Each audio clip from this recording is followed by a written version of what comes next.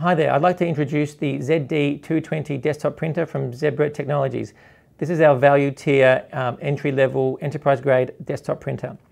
It can run 4 inches per second and 203 DPI. Uh, it contains 128 meg of RAM and 256 of flash, so it's great for installing fonts, graphics, um, firmware updates, and can install um, a lot of print jobs at the same time. It has a cut-down version of Print DNA software tools um, and the connectivity is basically USB, so it's plug and play. If we have a look inside, we can see it's a clamshell design. We get a lot of access to change our media very easily.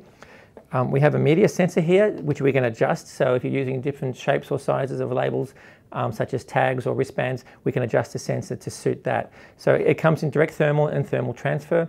And all in all, it's a great entry-level desktop enterprise grade uh, printer from Zebra Technologies.